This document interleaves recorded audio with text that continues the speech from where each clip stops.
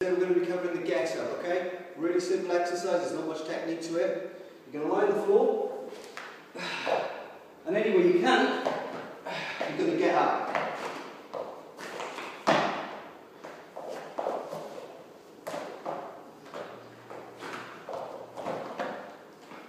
Okay, you can do this any way you want, you can manipulate your legs.